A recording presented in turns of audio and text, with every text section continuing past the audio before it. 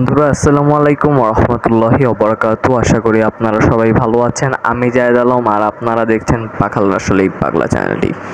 বন্ধুরা, আজকে আমি আপনাদের সামনে চলে এসেছি ফাইটার মাছের কমন কিছু রোগের মাত্র একটি মাত্র ট্রিটমেন্ট নিয়ে। মানে বেশ কয়েকটা রোগ, কিন্তু রোগের ট্রিটমেন্টটা কিন্তু এই একটাই। আর তা কি? চলুন শুরু করি।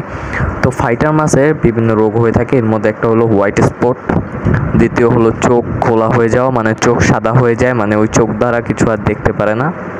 তৃতীয়ত, শরীরের রং ফ্যাকাশে হয়ে যায়। চতুর্থত শরীরের ভিতরে সাদা সাদা স্পটের মতো দেখা যায়। প্রথমে বলেছি হোয়াইট স্পট, ওইটাই। এবং মাছের শরীরে বিভিন্ন ধরনের ক্ষত দেখা যায় এবং পাখনা পচে যাওয়া এবং মাথা এরকম ফুলে যাওয়া। এই পাঁচটা রোগের একটা ওষুধ সম্পর্কে আজকে বলব। তো আশা করি ভিডিওটি আপনারা শুরু থেকে শেষ পর্যন্ত দেখবেন এবং কি নিয়ে ভিডিও চান সেটা আমাকে কমেন্টে অবশ্যই সবসময় জানাতে থাকবেন। তো ভিডিওটি শুরু করছি। তো বন্ধুরা আমি যদি আপনাদের দেখাতে চাই ফাইটার মাছের কীভাবে বুঝবেন আপনার ফাইটার মাছটা সুস্থ নয়? তাহলে আপনি যদি আমার এই ফাইটার মাছটার এই চোখটার দিকে খেয়াল করেন, তাহলে দেখতে পারবেন যে চোখটা সাদা হয়ে গেছে এক সাইড এবং পাখাগুলোর রঙগুলো কেমন ঝলছে ঝলছে গেছে এবং যদি আপনাকে ওর ফুলকাটা দেখাতে যাই ফাইটার মাছের যে ফুলকাটা থাকে, তো ওইটু নিচে নেমে গেছে তো এই যে ফুলকাটা যদি দেখেন, কেমন লোমগুলো দাঁড়িয়ে দাঁড়িয়ে গেছে দেখলে মনে হচ্ছে। তারপর উপর থেকে দেখলেও আপনার মনেই হবে এটা অসুস্থ। এটার ভালো মতো এটার মুখটার দিকে যদি আপনারা খেয়াল করেন, দেখেন ওর ফুলকাগুলো কীভাবে দাঁড়িয়ে গেছে, চোখটা কীভাবে ছিলে গেছে। তো এগুলো কি কারণে হয়? সেটা আমি আপনাদের এখন বলছি। এরকম যদি হয় এগুলোর কি কারণে হবে এবং এর ট্রিটমেন্ট কি? একটা কথা বলে রাখি, এগুলো হলে ফাইটার মাছ বেশি দিন বাঁচে না। তো এই ট্রিটমেন্ট সম্পর্কে আগে বলব এগুলো কি কারণে হয়, এরপরে বলব এটা ট্রিটমেন্ট সম্পর্কে। তো দেখতে পাচ্ছেন, এরকম যদি হয়, আবার ল্যাঞ্জা দেখেন, ফেটে ফেটে যাচ্ছে। এরকম হলে কি কি করতে হবে, চলুন আমরা জেনে নেই। প্রথমে খেয়াল করতে হবে যে ফাইটার মাছের পানিটা কি ঠিকঠাক আছে কিনা। আপনি যদি আমার পানির দিকে ভালো মতো খেয়াল করেন, তাহলে দেখবেন না, আমার পানির অবস্থা খুবই খারাপ। তো এটা কি কারণে আমি আপনাদের বলছি, ঈদ ছিল, বাসায় মেহমান ছিল, তো আমি মাছের ঠিকমতো যত্ন নেইনি এবং বাদাম পাতাগুলো প্রায় নষ্ট হয়ে গেছে। এবং পানির কোয়ালিটিটা দেখতে পাচ্ছেন, লাল লাল থাকাটা ভালো, এটাই সমস্যা নেই। কিন্তু যদি একটু নিচের দিকে খেয়াল করেন, দেখবেন প্রচুর ময়লা। তো এই কারণে পানিতে প্রচুর পরিমাণে অ্যামোনিয়া গ্রো করছে, যার কারণে ফাইটারের এই অবস্থা। তো আমি করব কি পুরো পানিটা ফেলে দিব। দেখতে পাচ্ছেন কি পরিমাণ ময়লা জমেছিল, দেখেন। তো এরপরে এটাকে আমি ভালো মতো ক্লিয়ার করব। ভালো মতো নতুন পানি দিয়ে আরেকটা কথা বলে নেই, আপনারা কিন্তু ক্লোরিন মুক্ত ট্যাপ ওয়াটার ইউজ করার চেষ্টা করবেন। আপনারা এখন বলতে পারেন, ভাইয়া, আপনিও তো ট্যাপ ওয়াটার ইউজ করছেন। কিন্তু ভাইয়া, আমাদের যে বিল্ডিংটা আছে, সেই বিল্ডিং নিজস্ব একটা ডিপ টিউবওয়েল আছে। আমাদের পানিটা ডাইরেক্ট ডিপের থেকে আসে, ওয়াসার পানি নয়। তো এই পানিটা দিয়ে আমি ভালো মতো ধুবো। এবং আপনারা বলতে পারেন যে ডিপের পানি তো আয়োডিনও থাকতে পারে। না, আমি প্রথমে ধোয়ার জন্য এই পানিটা ব্যবহার করছি। এরপরে আমি আমাদের যে ফিল্টারটা রয়েছে, সেই ফিল্টারের পানিটা ইউজ করব। তাহলে হবে কি, পানির যে কোয়ালিটিটা খুব ভালো থাকবে। তো এটাকে আমি খুব ভালো মতো পরিষ্কার করব। একেবারে যথাসম্ভব পরিষ্কার করার চেষ্টা করবেন না হলে আপনার ফাইটার মাছের জন্য ক্ষতিকর হতে পারে। যথাসম্ভব করছি।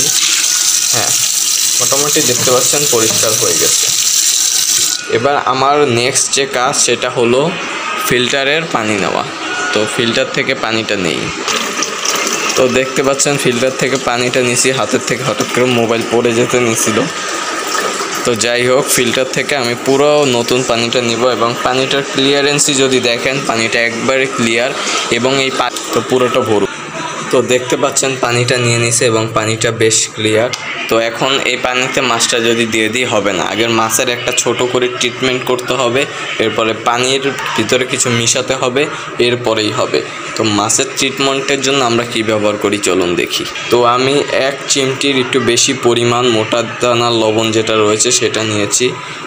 এখন কোরবানি গেছে, আপনারা সবাই অ্যাভেলেবেল পেয়ে যাবেন এই লবণটা। তো এটা আমি এই গ্লাসের পানিটা ভালো মতো দিয়ে দিচ্ছি। মিক্স করে দেই। মাছটার গায়ে দেখেন পড়ছে লবণগুলো। হ্যাঁ মাছটা এখানে প্রায় বিশ সেকেন্ডের মতো থাকবে। আর আমরা পানিটা যত সম্ভব এভাবে লেড়ে লিড়ে দিব যাতে মাছটার গায়ে লাগে। এবং মাছটাকে যদি পারেন একটু ধরে ধরে এভাবে গোসল করিয়ে দিতে পারেন, তাহলে ওর জন্য ভালো। তো এই লবণটাই যা করার করবে এবং আম্মা এটা হতে থাকুক, এতে আমরা পানির কাজটা সেরে আসি। আমরা আগের মতোই ঠিক এক চিমটি পরিমাণ লবণ নিয়ে নিয়েছি। এখন আপনাদের প্রশ্ন হতে পারে, ভাই, পরিমাণটা কেমন হবে? পরিমাণটা আপনার মনের মতো দিবেন। মন যেন বলে, না, হবে না। যদি বলে হ্যাঁ হবে না, তাহলেই নেবেন। তাহলে বুঝবেন এটা ভালো হবে। তো এবার এটাকে ভালো মতো মিক্স করে দিই।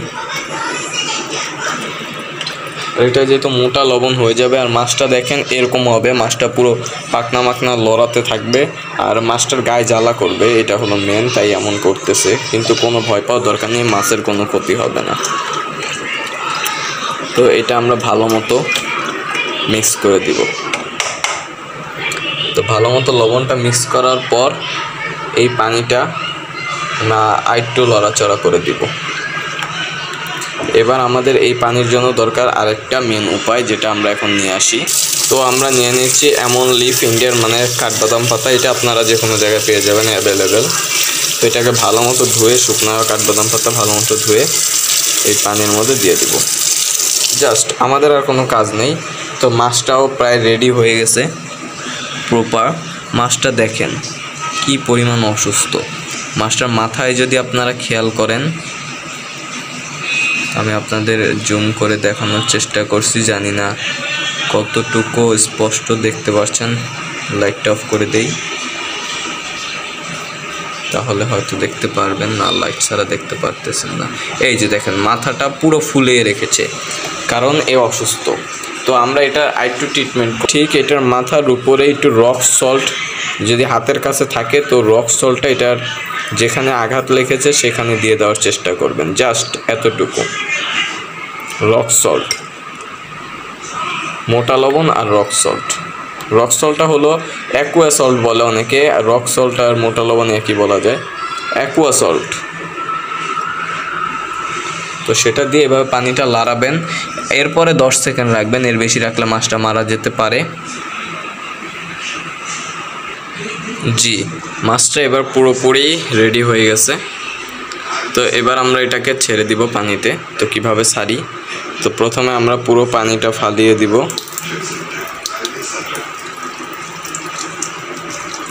পানিটা ফেলে দিয়ে হাতে নিয়ে মাছটাকে এটা ছেড়ে দিব।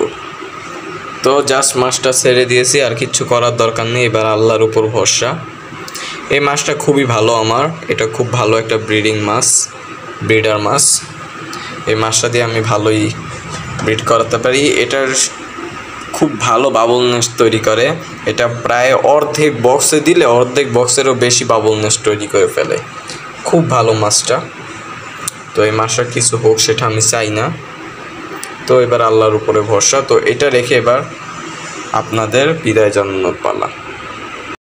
বন্ধুরা, আশা করি ভিডিওটি শুরু থেকে শেষ পর্যন্ত দেখেছেন।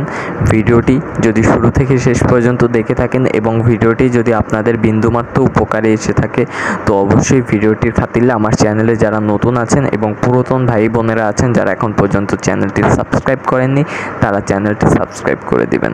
তো ভিডিওটি এখানেই শেষ করছি। সবাই ভালো থাকবেন, সুস্থ থাকবেন, আমার জন্য দোয়া করবেন। আসসালামু আলাইকুম ওরহমতুল্লাহি ওবরাকাতু আমিন।